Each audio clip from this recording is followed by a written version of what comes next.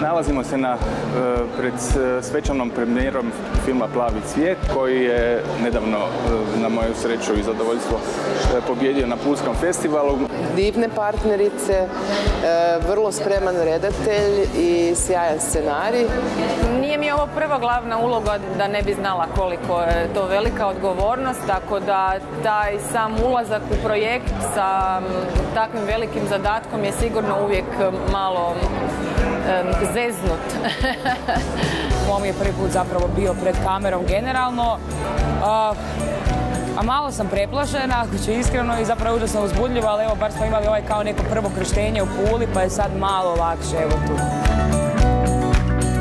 Priča o tri generacije žena jedne obitelji, bremenitim i slojevitim e, njihovim odnosima, sukobima, ljubavima. Tema o običnim ljudima i nekakvoj, ajmo reći, svakodnevnici, o nekim problemima u kojima se nađemo po putu, a da nismo možda ni svjesni. Film je o tome kako se majke i kćeri u većini slučajeva ne razumiju, a negdje imaju tu želju za razumijevanje.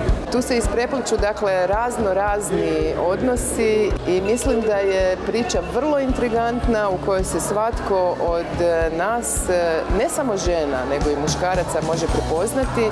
Jako su točno pogođeni ti odnosi majka i kćeri i što mi je većina ljudi rekla je nakon filma su htjeli nazvat svoju mamu. I to mi je jako lijepo jer i meni se isto taj osjećaj rodio sa prvim gledom.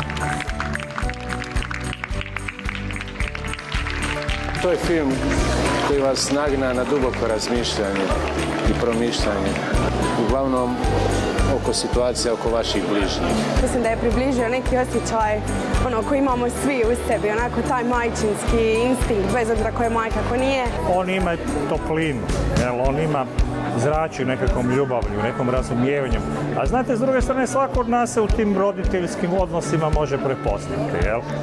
Ja mislim da je ovaj film e, e, izvaredan za otići u kino i, i provesti odličnih sat i po dva Pročitala sam negdje da je za pozvat mamu, tetu, sestru, prijateljicu i mislila da je floskula, ali sad kad sam ga odgledala, ovo je film u kojem se svaka zagrebačka cura i žena mogu naći i definitivno je za svaku preporuku.